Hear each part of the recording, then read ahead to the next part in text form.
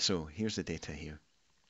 I'm going to click on the chart and then I'm going to do insert and uh, you can see there's pivot table here. I'm not going to click on that. I'm going to go across the center and we'll pick on pivot chart.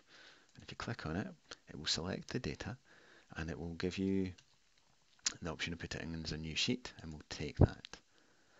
Then you'll see three things. You'll see an area for a table, you'll see an area for a chart, uh, and an area to pick the field to populate the chart in the table. And if you click off uh, the chart, the fields disappear.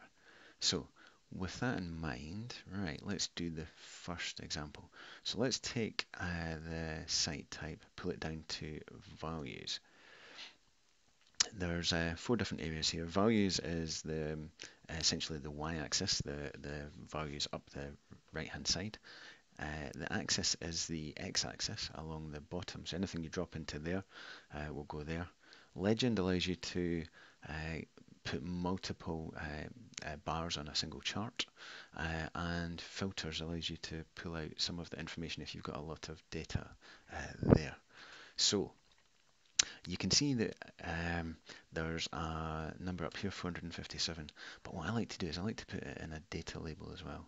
So there you go 457 inspections in the time uh, that I said since last November, uh, November 2017. Right, you can also now drag site type down into here and you can see that we did 18 inspections of API sites and 439 inspections of GMP drug product sites. We can also then add in the year into this. So if I've added the year down here into the category, you can see it's gone into the x-axis.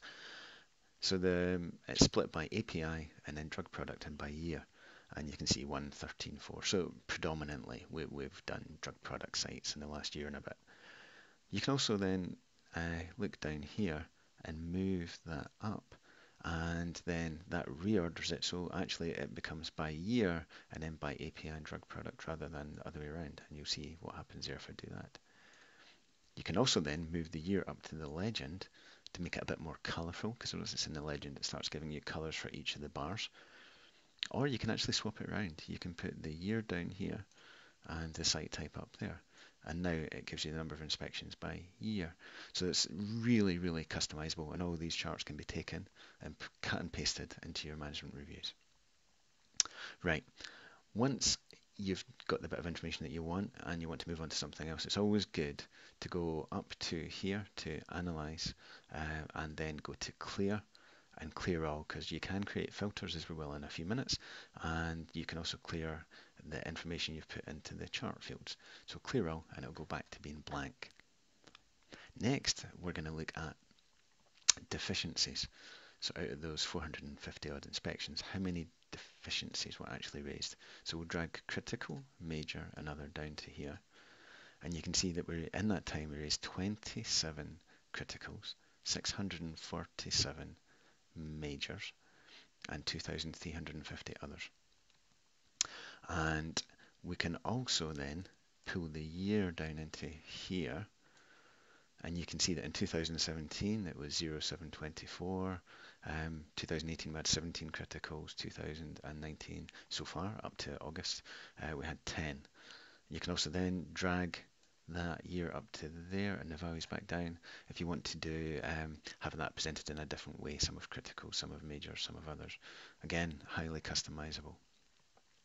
Right, now that we've got that and we've seen the total number of uh, deficiencies uh, and how many criticals, majors, others there were, I'm going to clear that again. So we'll go up to here, analyze, and clear, and clear all. One other quick thing we can do here is show you the highest finding category out of the 457 inspections.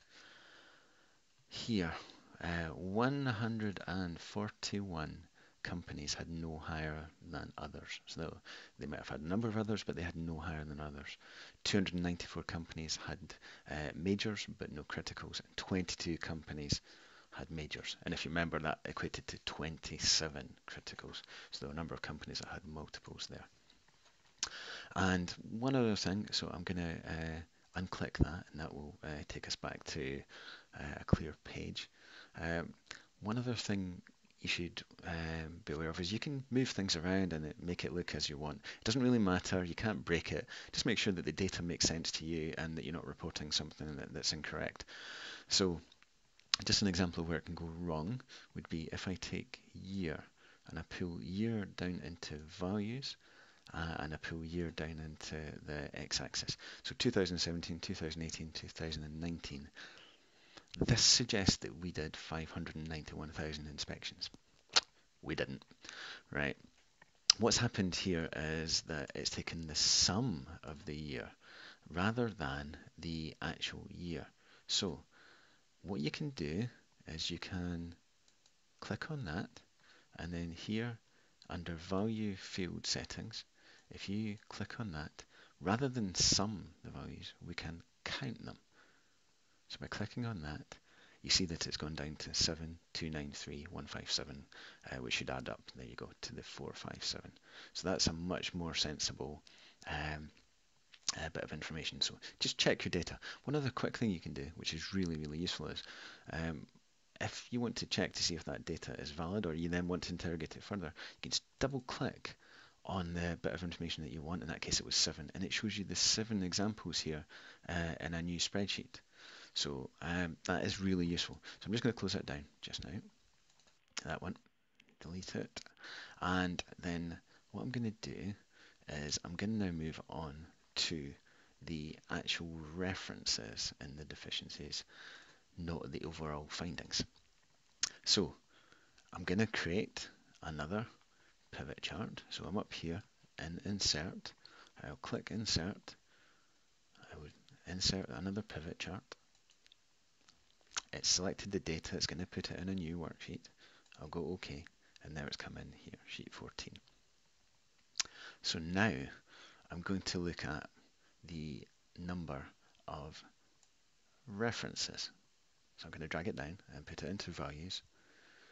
And again, I'm going to put on the data uh, label there. So you can see there's 9,225. That doesn't mean that there's 9,225 uh, deficiencies in that time. We've already seen that that's not the case. This actually says there's 9,225 references against those because you can have multiple references against an individual deficiency. So now I'm going to filter that a little bit more. I'm going to put in the chapter down to here to show you where the deficiency came from. And also I'm going to put in a filter of site type. So here you can see that the site type, what I'm going to do is I'm going to just close that down. I'm going to go up here to site type and I can um, minimize it so it remove the API or the drug product and I can also do it over here. I can do it here under site type. So I'm just going to select here only the API and you can see that I've done that there. So you can see uh, the number of references against a particular section for the API sites. What I can also do is I can filter this or sort it is a better way of uh, phrasing that. So up here there's sort options so I can either sort it via A to Z but that really just sorts it section 1 to whatever or uh, section Z so that might be section 16 down to section 1. We can do more sort options where we can, and I'm going to pick descending, and you'll see a reason why in a second, uh, not by the chapter, but by the count of the reference. And I'll click OK, and this should form a nice, uh, almost Pareto chart going down. And that just makes it easier, because if you've got a big long list, you see the top ones over here.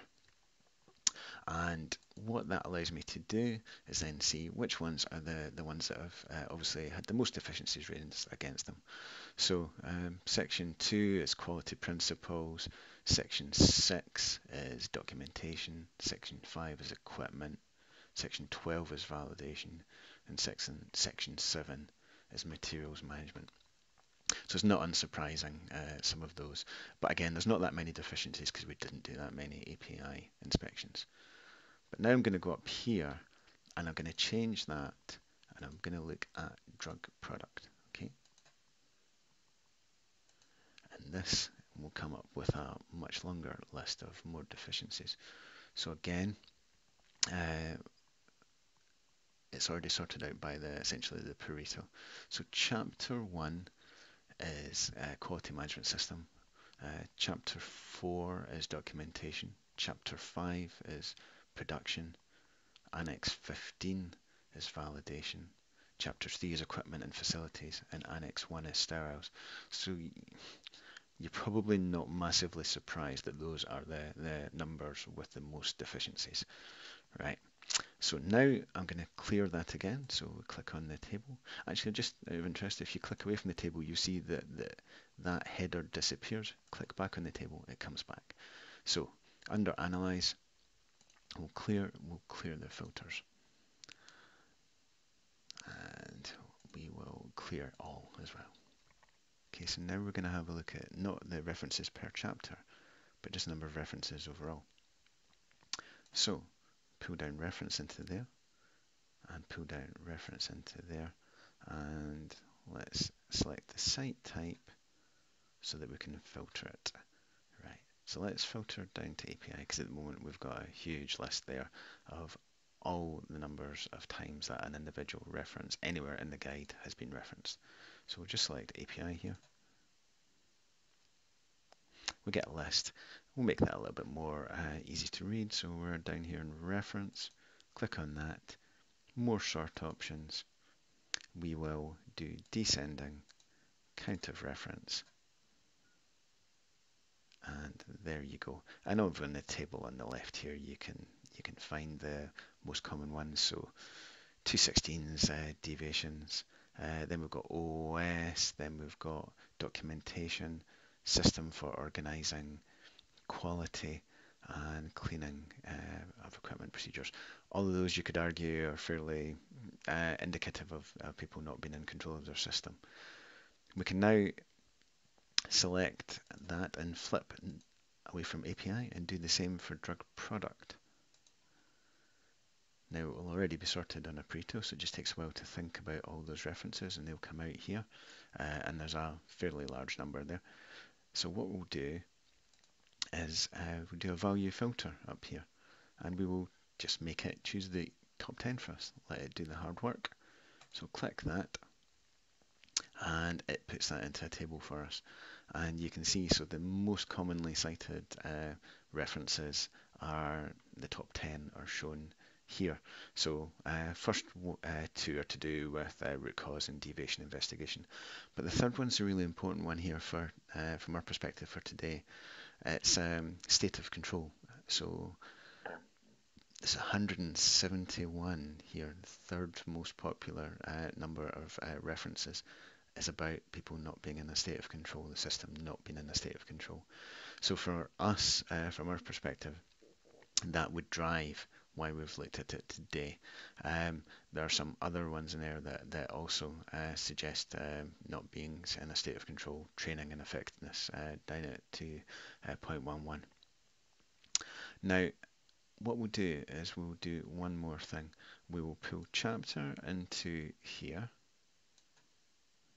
into the category along the top bottom there, uh, and we'll pull deficiency type into the filter and in the filter we will select the criticals and the majors, we will remove the others.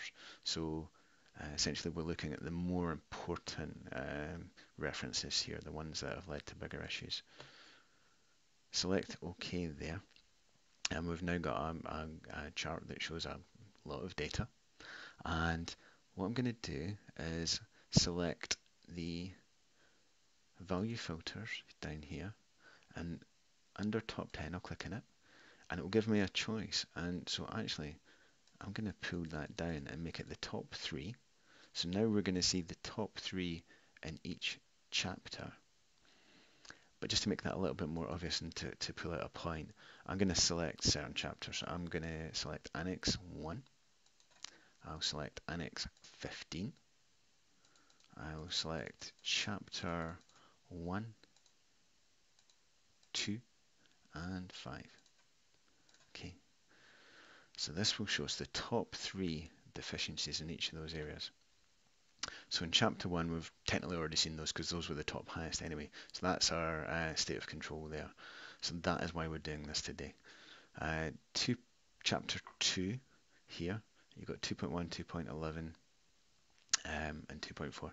Those are about people not being trained uh, and educated and not having the right number of educated staff. I cover that in my presentation today. Uh, chapter 5, uh, 5.20, 5.19, uh, 5.210, that uh, is about quality risk management and making sure that you have uh, control measures, organizational and te technical measures, uh, essentially a control system. That's being covered by Graham, Chris and Joe today. Then you have Annex 1, uh, 1.64 uh, precautions to minimize contamination and 1.18 monitoring of aseptic processes uh, and appropriate alert and action limits. Alan's covering all of those this afternoon and my presentation touches on the alert and action limits. And then you've got uh, Annex uh, 15 and the top one there, Annex 15 11.4 covers uh, quality risk management for planned changes to make sure you understand the impact of everything that you do when you make a change. And again, I'm covering that in my presentation today. So hopefully you've seen how you can pull some information together, uh, slice it and dice it in different ways, and gain a lot more understanding, filter out uh, less important parts, and you should be able to use this as a reference and hopefully uh, take that back to your own site. Thank you.